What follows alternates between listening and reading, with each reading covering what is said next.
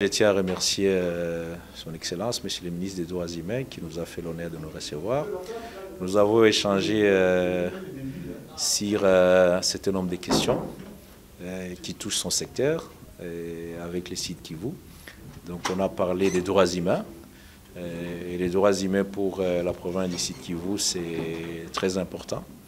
on a particulièrement discuté des conditions de vie carcérale dans nos prisons puisque depuis que le, monsieur le ministre des Droits humains est aux responsabilités, je vois un engagement euh, particulier de sa part pour améliorer les conditions de nos prisonniers.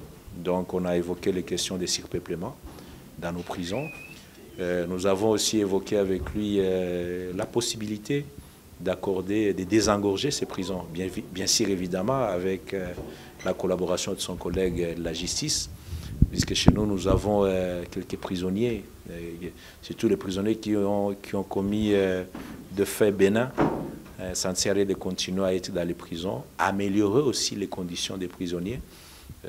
puis on a abordé aussi des questions qui concernent les droits humains en général, surtout dans une province où nous avons encore quelques questions de sécurité, puisque quand on parle d'insécurité ou quand on parle violation des droits de l'homme, ça se remarque sur les personnes vulnérables, les femmes et les enfants. Monsieur le ministre euh, s'est dit très engagé. Et puis nous avons aussi échangé avec lui sur euh, sa prochaine visite qu'il va effectuer à l'est du pays, à Nitouri, au nord Kivu et au sud Kivu. Euh, il tient à visiter quelques sites historiques et qui ont connu malheureusement des violations graves des droits de l'homme par le passé. Euh, donc j'ai rassuré au ministre qui sera bien réussi et que nous allons l'accompagner pour aller s'incliner euh, devant ces sites et que surtout euh, prendre des décisions, un plaidoyer au niveau national pour que ce qui s'est passé par le passé dans notre province n'ait plus pas se reproduire.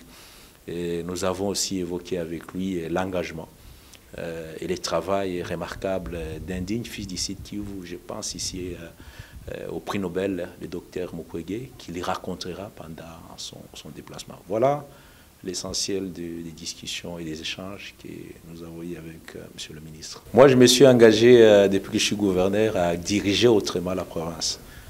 Gouverner autrement, ça veut dire renoncer aux méthodes et aux pratiques du passé. Le site Kivu a connu une gouvernance pendant 18 ans qui n'avait rien de gouvernance. Alors, euh, il y a certaines personnes qui ont cru que quand nous nous arrivons aux responsabilités, euh, qu'on va faire le même bêtise du passé. Je suis totalement engagé euh, dans la vision du président de la République. J'étais parmi les tout premiers gouverneurs à, adhérer à l'Union sacrée. Et, j'ai été victime d'ailleurs de, l'ordre ancien. Mais nous, nous sommes des serviteurs de l'État. Et c'est ce que j'ai aussi dit au ministre Fabrice Pouella, qui n'est plus à présenter. C'est un homme qui veut que les choses changent. Et je lui dis d'ailleurs qu'il pourra avoir demain des contradictions, même avec certains membres du gouvernement, puisque le travail qu'il a, il est au milieu. D'un côté, défendre les droits humains, de l'autre côté, la position du gouvernement ou certains membres du gouvernement, il faut avoir euh, beaucoup de sagesse. Donc nous, nous sommes engagés dans la voie du changement. Depuis que je suis gouverneur, je vais garder les caps. Euh, et je sais que la majorité aujourd'hui des sites kivusiens comprend mon travail et nous accompagne. C'est pour ça que quand les forces obscures veulent nous déstabiliser, euh, les forces du changement aussi s'opposent et nous sommes là. Les démotions qu'on a vécues, beaucoup c'est la manipulation, c'est l'intox, la campagne de déstabilisation, des désinformations. Mais je suis aussi ravi qu'il y a beaucoup, euh, même des acteurs des droits humains qui comprennent mon combat. Moi, je n'ai qu'une seule ambition de servir mon pays et servir ma province.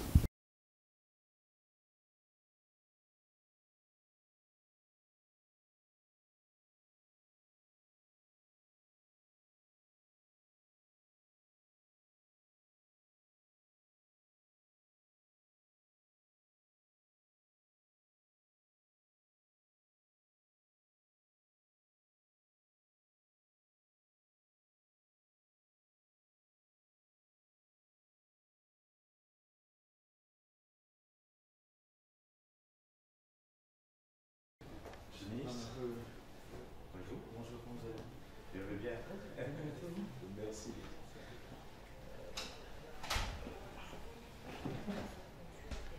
dernièrement à, Goma. à Goma. Finalement, on se voit. Bon, finalement, aujourd'hui, on se voit. Merci de vous recevoir. On m'a dit que vous avez une délégation. Oui, oui, nous sommes l'entreprise d'aéroportaire d'affaires, c'est les dossiers, exploitation du gaz. Et j'ai aussi des collaborateurs pour un peu plus de Je tiens d'abord à passer la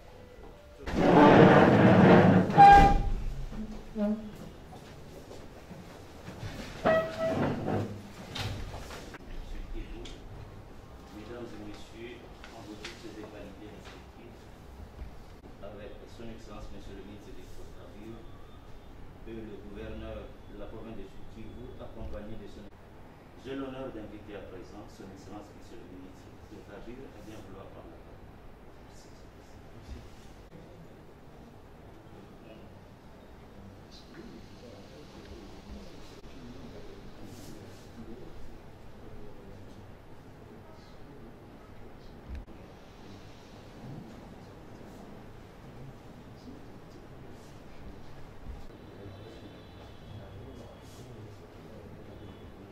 accompagné par euh, M. Thierry Ouira, c'est mon conseiller, M.